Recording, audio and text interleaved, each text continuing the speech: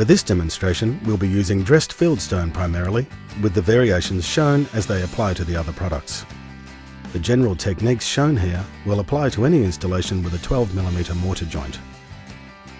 If your project has outside corners, always begin the install with those. Notice that each corner piece has a long leg and a short leg. These should alternate as you go up the corner. Apply mortar using any of the methods described in the Mortar Techniques section. Press each piece into the mortar bed firmly enough to squeeze some mortar out around the edges of the piece. This will ensure a good bond. As you place each piece, be sure the mortar joint remains consistent. When using a ledge style product, like this country ledge stone, you will also need to check your work regularly to make sure each stone is level and plumb. Stone should first be applied around openings before laying courses on the rest of the wall.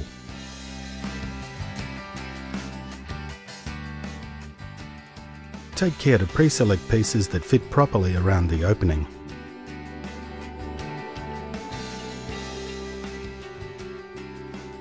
Lay in a course of stones at the top of the opening that extends out at least 100mm on either side.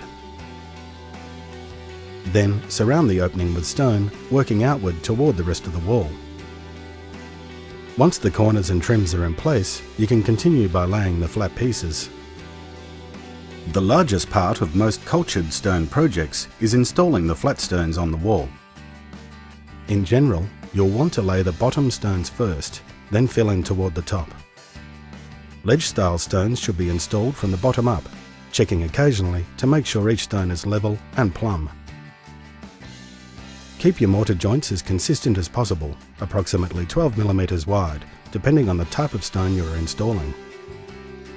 The mortar itself need not be smoothed between the stones just yet. We'll get to that shortly. If you are using a ledge stone product, choose pieces to ensure that vertical joints do not line up. As you work, use small pieces to fill in voids. If you are using a ledge stone product, choose pieces to ensure that vertical joints do not line up. You may have to cut or trim pieces to achieve a proper fit. Consider feathering the cut edges with a masonry axe, hatchet or nippers. When using a wet saw, be sure to clean the stone with clean water after cutting.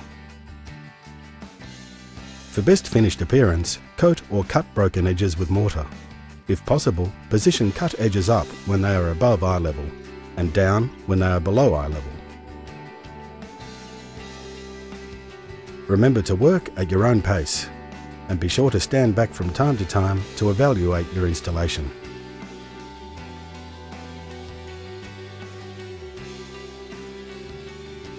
Cobblefield is a unique texture that's also generally installed with a 12mm mortar joint. When using Cobblefield stones, note that a percentage of the pieces are slightly thicker than others.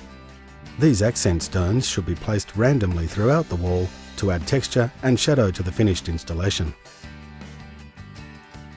While Cobblefield stones are typically laid horizontally, a medium piece might occasionally be placed on end if needed. As you work, stop several stones short of any inside corners. Select and install the pieces that butt up against the walls on each side. They should be placed so that they knit together in an alternating pattern as shown. Continue this process as you work the stone up the corner. Then fill in the remaining wall area as before. After you complete a section or job, Fill the joints using your grass bag.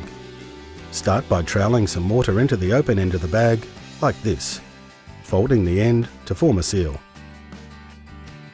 Then squeezing the bag, lay in a bead of mortar appropriate to the size of the gap.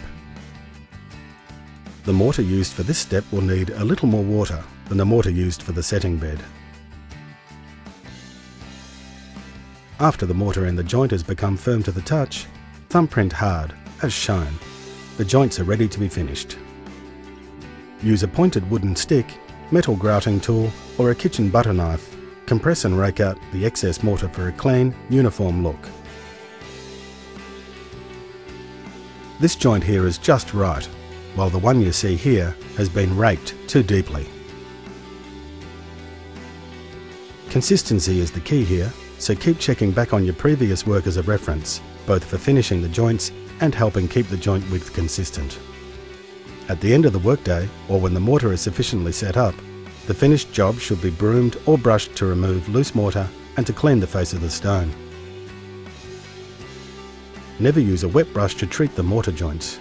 This will cause staining that will be difficult if not impossible to remove. Pressure washing equipment or hydrochloric acid should never be used on cultured stone products.